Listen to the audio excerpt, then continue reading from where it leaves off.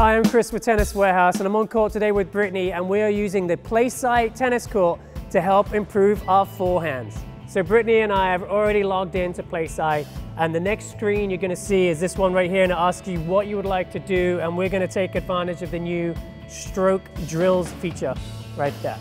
As you can see right here, I get to pick from any stroke that I wanna work on, as does Britt and we want to work on forehands and we're going to work on forehand cross court right now. So when I select the forehand cross court for me, that gives the forehand cross court option also for Brittany. Hit that, then we go to next. Now I get to pick the level. This right now here is on the easy level, the default is easy, and that is anything cross court in the singles court. When I up that to medium, now I have to hit past the service line. So I'm hitting every shot that goes between the service line and the baseline is going to count. And then hard, which is the maximum level right here, is a very small area right there. It's just uh, the part right inside the baseline, so you've got to hit with great depth and consistency to get that one. We're going to go to the medium one. Next up, we get to choose, do we want to go head-to-head, -head, compete against each other, or do we want to do teamwork? So we're going to go head-to-head -head today because we're competitive and we like to compete.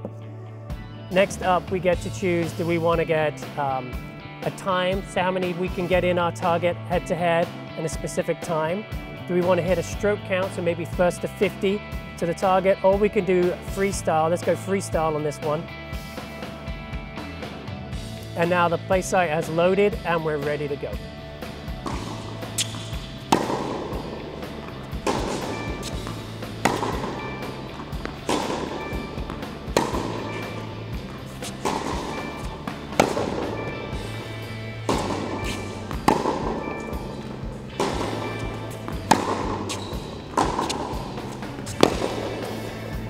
We just wrapped up our drill. We only hit for three minutes and 41 seconds here, but as you can see, Britt got 34 forehands in cross court. I was at 32.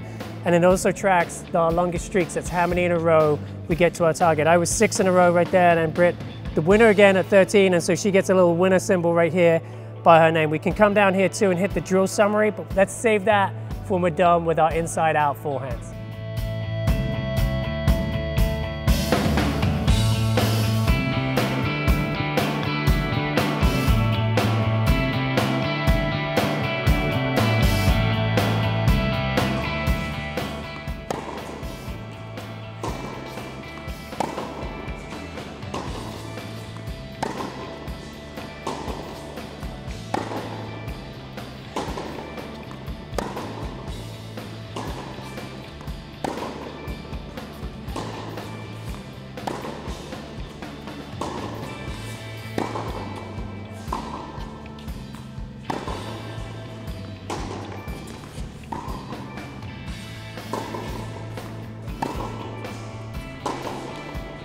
Well, that was a killer workout. Really gets the heart rate up. Running inside out on the forehand. We're both pretty sweaty and breathing heavy after that one. As you can see here, our results.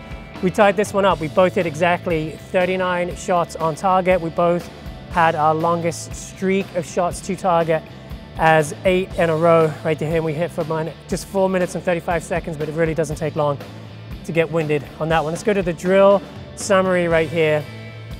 And it gives us our score longest streak, uh, number of strokes that we hit, strokes in the court as a percentage right there, strokes to the target area as a percentage, average speed of strokes into the target right there as well, and then our fastest stroke speed as well. We're both really close through all of those uh, characteristics on that one. We went into debriefing mode right now. We can really look in depth at what we just did out there on the court. We can look at a court view of the action. We can also look at a 3D view and then a video playback of our inside out drill session that we just did. And that's all we've got for this drill tip session with PlaySight. Thanks for watching.